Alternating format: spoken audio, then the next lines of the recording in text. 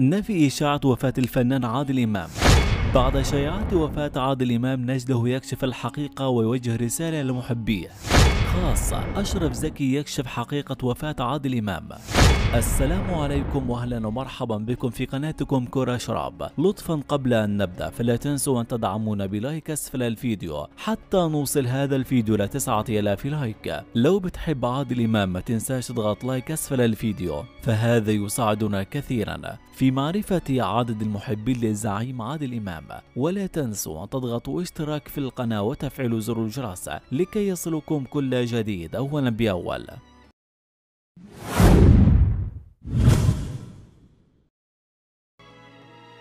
مصر. نفي إشاعة وفاة الفنان عادل إمام؟ نفى المخرج المصري رامي إمام الابن البكر للفنان الكبير عادل إمام شائعة وفاة أبيه ووصفها بأنها سخيفة وعلق نجل الزعيم عادل إمام على ما أشيع على مواقع التواصل الاجتماعي خلال الساعات الأخيرة قائلا الحديث عن وفاة عادل إمام شائعات سخيفة وليست المرة الأولى التي تطلق مثل هذه الأقاويل. من جانبه أكد نقيب الممثلين في مصر أشرف زكي أن أنباء وفاة عادل إمام كذب مؤكدا أن الزعيم في بيته ولم يدخل أي مستشفى كما تدعي تلك الصفحات وتداولت بعض الصفحات على مواقع التواصل الاجتماعي أنباء حول وفاة الزعيم عادل إمام بعد تعرضه لوعكة صحية مفاجئة ما هي حقيقة وفاة الفنان عادل إمام منذ قليل؟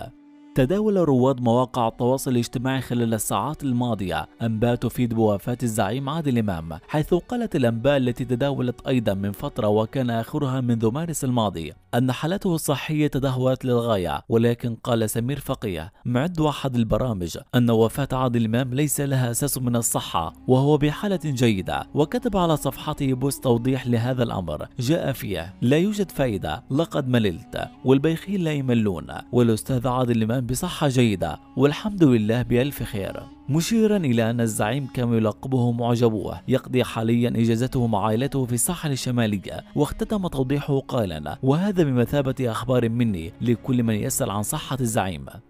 أبرز مداخلات التوك شو عادل الإمام يعلق على شائعة وفاته عايزني أموت ليه؟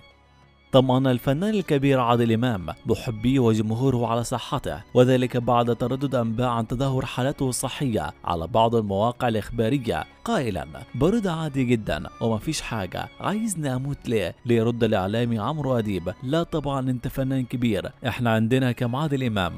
وأضاف عادل إمام خلال مداخلة هاتفية لبرنامج الحكاية تقديم الإعلامي عمرو أديب أنه متواجد في منزله ويقرأ الجرائد كما يقوم بحل الكلمات المتقاطعة مشيرا إلى أنه انتهى من تصوير مسلسل والذي سيعرض في رمضان المقبل 2020 واختتم عادل إمام حديثه مع الإعلامي عمرو أديب بعد أن طالبه بتوجيه رسالة للشعب المصري قال فيها يا رب يبعد عنكم كل مكروه وقلوبكم دائما سمحة ومحبة وجميلة وانتشرت على مواقع التواصل الاجتماعي في الساعات القليلة الماضية أنباء حول وفاة الفنان المصري عادل إمام. الأمر الذي دفع الصحفي سمير فقيه معد برنامج أحلى النجوم الذي تقدم الإعلامية بوسي شلبي إلى الخروج لنفي تلك الشائعات والتأكيد على أن الزعيم بصحة جيدة. فكتب في منشور له عبر حسابه على موقع التواصل الاجتماعي فيسبوك وفق ما نقلته نورت قائلا ما فيش فايدة أنا زهقت والبيخين ما يزهقوش. الأستاذ عادل إمام بصحة جيدة والحمد لله بألف خير وتابع. يقضي حاليا إجازته مع عائلته في الساحل الشمالية وهذا بمثابة أخبار مني لكل من يسأل عن صحة الزعيم.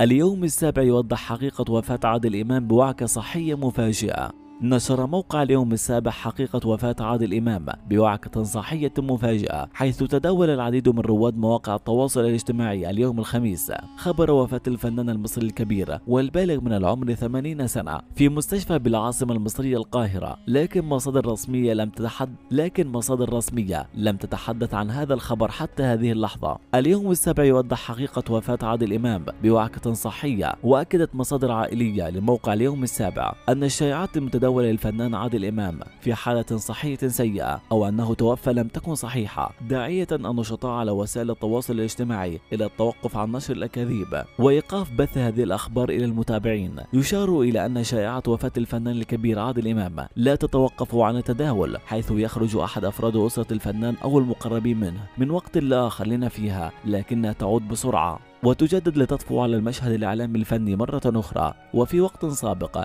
قال الزعيم عادل إمام إنه بخير ولا صحة على الإطلاق لشائعة وفاته التي انتشرت منذ وقت قصير عبر وسائل الإعلام. مؤكدا أنه بصحة جيدا وغاد من تلك الشائعات التي تظهر من وقت لآخر. وعلق القائد أنا بخير وما فيش أي حاجة. والحمد لله. يشار إلى أن عادل إمام الذي يحتفل بعيد ميلاده الثمانين في العالم العربي نجح في كتابة تاريخ فني مستقل من خلال عدد كبير من الأعمال الفنية التي يتعلمها الجميع خلال سنوات عديدة بعد أن أصبح الزعيم بمثابة مدرسة فنية يمكن لأي فنان أن يمر من خلالها. شاهد حقيقة وفاة عادل إمام اليوم 2020 جراء إصابته بفيروس كورونا.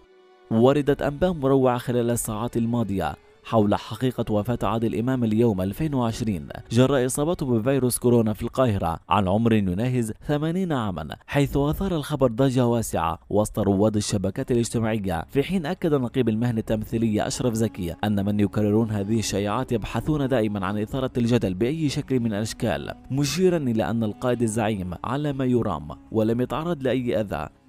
الزعيم عادل إمام ينهار باكيا على الهواء عند سماع الخبر الصادم.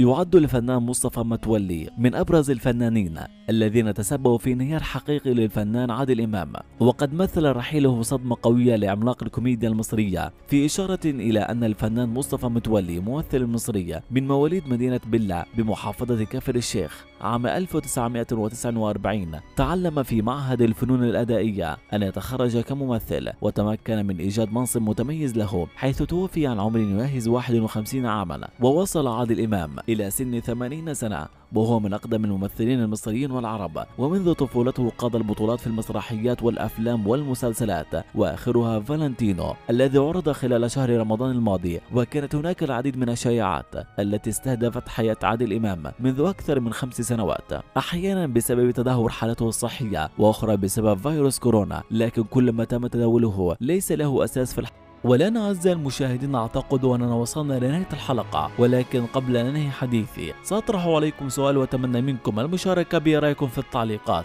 ما هو سر رغبة الجميع في وفاة الفنان الكبير عادل إمام؟ لا تنسوا أن تشاركوا برأيكم في التعليقات ولا تنسوا أن تضغطوا لايك أسفل الفيديو من أجل دعمنا. وفي النهاية أتمنى منكم الاشتراك في القناة وتفعيل زر الجرس لكي يصلكم كل جديد أولا بأول. وقبل أن ننهي الفيديو كالعادة لا تنسوا الصلاة على النبي गया